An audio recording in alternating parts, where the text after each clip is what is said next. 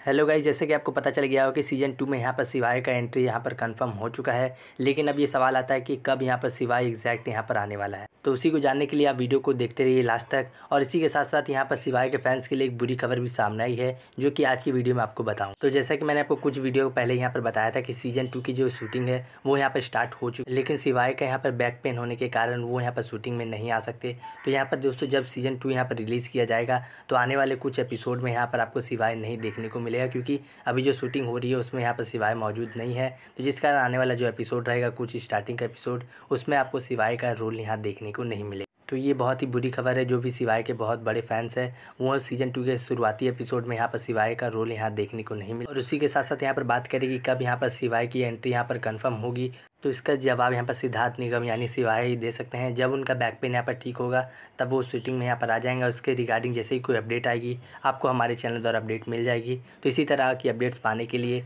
आप हमारे चैनल को सब्सक्राइब कर लीजिए। Thanks for watching